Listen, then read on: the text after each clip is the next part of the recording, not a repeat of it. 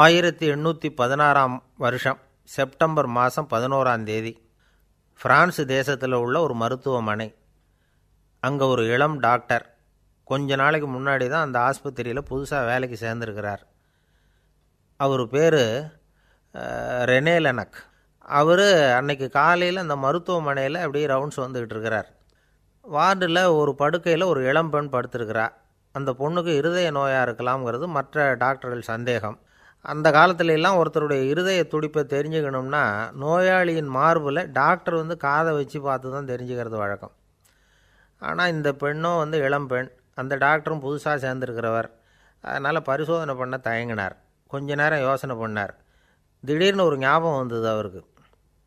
அதாவது அன்றைக்கி விடியற் காலையில் தோட்டத்தில் அப்படி வாக்கிங் போயிட்டு இருந்தப்போ சின்ன பசங்கள்லாம் ஒரு மரக்கட்டையை வச்சு விளையாடிக்கிட்டு இருந்தாங்களாம். அதை இவர் பார்த்துருக்கிறார்.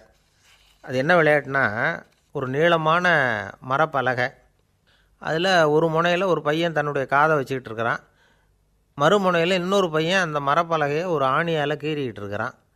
ஒரு முனையில் ஆணியால் கீறும் பொழுது மறுமுனையில் காதை வச்சிருக்கிற பையனுக்கு அந்த சத்தம் துல்லியமாக கேட்குது அந்த டாக்டருக்கு காலையில் பார்த்த இந்த விளையாட்டு ஞாபகத்துக்கு வந்துட்டுது.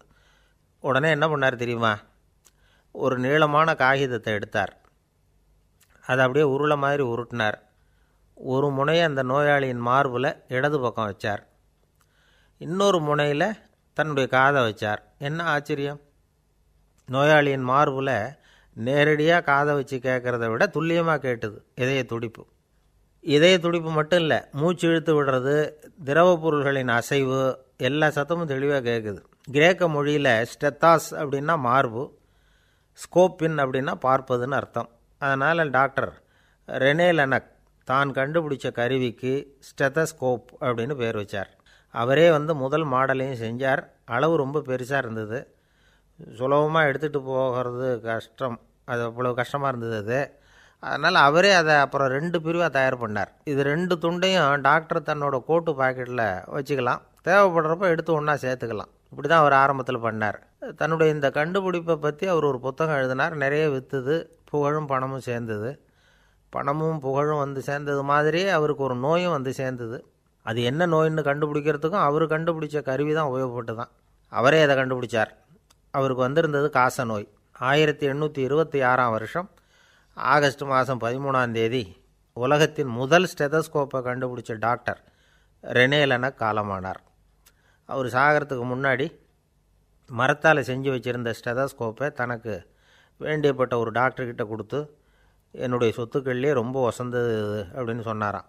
அதுக்கப்புறம் மூணு வெள்ளைக்காரங்க சேர்ந்து இந்த கருவியில் சில மாற்றங்களை பண்ணாங்க. ஆனால் ஆயிரத்தி எண்ணூற்றி இருபத்தி ஒம்போதில் லண்டனில் டாக்டர் நிக்கோலஸுங்கிறவர் ஒரு காதால் இதய துடிப்பை கேட்குறத விட டாக்டர் ரெண்டு காதாலையும் கேட்குறது தான் சரியாக இருக்கும் அப்படின்னு ஒரு கருத்தை வெளியிட்டார். அதுக்கப்புறம் ரொம்ப காலம் கழித்து ஆயிரத்தி எண்ணூற்றி ஐம்பத்தி ரெண்டில் ஜார்ஜ் காமான் அப்படிங்கிறவர் ரப்பர் டியூபுகளை உபயோகப்படுத்தி ரெண்டு காதாலையும் கேட்குற மாதிரி ஒரு புதிய வடிவத்தை அதுக்கு கொடுத்தார். அதுக்கு பிறகு அது படிப்படியாக எவ்வளவோ மாற்றங்கள். இருந்தாலும் ஆரம்பத்தில் டாக்டர் ரெனேல் எனக்கு உருவாக்கின அடிப்படை மாடலை யாரும் மாற்றி அமைக்கலைங்கிறது தான் முக்கியமான விஷயம். நமக்கு தெரிஞ்ச ஒரு ஆஸ்பத்திரி அதில் ஒரு நோயாளி காலை நேரத்தில் நர்ஸு அந்த பக்கமாக போயிட்டு இருந்தாங்க. அதை பார்த்துட்டு ஒரு நர்ஸு நர்ஸுன்னு கத்துறார். நர்ஸு அவசரமாக ஓடி வந்து என்ன விஷயம்னு கேட்டாங்க.